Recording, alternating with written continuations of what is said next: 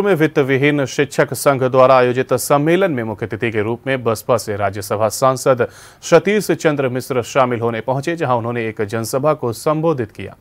इस दौरान उन्होंने उत्तर प्रदेश की सत्ता पर काबिज भाजपा सरकार पर जमकर हमला बोला। उन्होंने उत्तर प्रदेश की कानून व्यवस्था पर सवाल खड़े करते हुए कहा कि प्रदेश में कानून का राज समाप्त हो चुका है।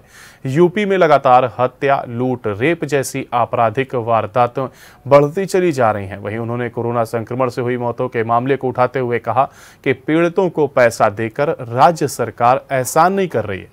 पीड़ितों को मुआवजा सुप्रीम कोर्ट के आदेश पर दिया जा रहा है। वहीं उन्होंने कहा कि 2022 में अगर सूबे में बसपा की सरकार आई तो बेरोजगार युवा को रोज़गार दिया जाएगा।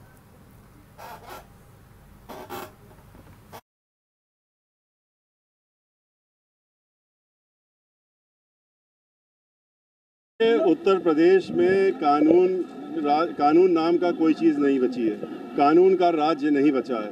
कानून द्वारा कानून का राज्य नहीं हो रहा है। जिस तरह से कानपुर शहर के एक व्यापारी को उसकी हत्या कर दी जाती है और किस बर्बरता से की जाती है और उसके बाद सिर्फ़ उसको कुछ रुपए दे करके और ये कहते हुए उनकी फैमिली को कि हम नौकरी दे देंगे, क्या उससे वो व्यक्ति वापस आ जाएगा?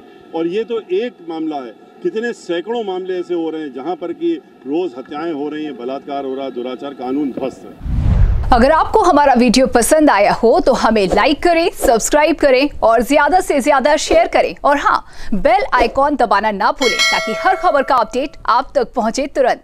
आप हमें इंस्टा ट्विटर और फेसबुक पर भी फॉलो कर सकते हैं। हमारी आईडी है at the rate J M D news